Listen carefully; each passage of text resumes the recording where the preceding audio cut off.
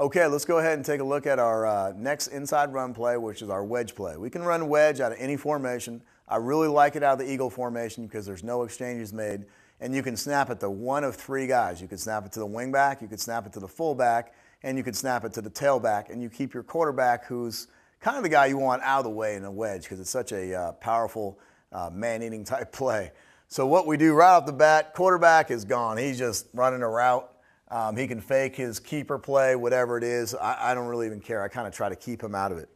Um, so we can direct snap it to any one of these guys and run the wedge or direct snap it to the tailback. The way we've been running is a direct snap to the tailback. So I'm going to show you what we do on an even front. The right guard sets the vortex of the wedge. And if he is number 62, that means our tackle is aiming for his two and, his, and our center is aiming for his six. If this guy's number is 55, he's aiming for his five. If this center's number is 57, he's aiming for his five, etc.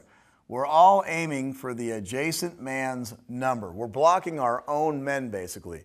So what we're doing is we're creating this huge 1,000 plus pound block all at one guy. Our, our wingback, which is right over here, is going to attach. He's going to go straight, and he'll end up attaching to that tight end.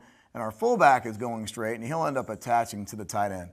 I know from the drawing it doesn't look like that would happen, but when those guys go straight and these guys get off quickly, they end up getting right on the hip. So again, if this tight end right here was number 87, our wingback would be attaching to his 8. If this tight end over here was 92, he would end up attaching to his 9. So if you figure your average kid being around 200 pounds, you got one, two, three, four, five, six, seven, eight, nine guys all trying to accumulate all at one spot. So in a perfect world, hypothetically speaking, you got 1,800 pounds going all in one direction. And again, this is a short yardage play or it's a surprise hitter. The ball goes directly to your tailback, who's at four yards, just like your quarterback, and he can jump over the top. He just wants to do whatever he can to get that first down, staying as tight as he can to the middle of the wedge, and that is key. So again, if you direct snap it to the wingback or the uh, fullback, um, you can have him do like the over the uh, when the ball went over my head type thing or whatever, and it does hit a little bit faster. But I really like having both these guys as insurance policies for added weight, and so those defensive ends can't crash off the edge and grab our tailback's legs before he's jumping over.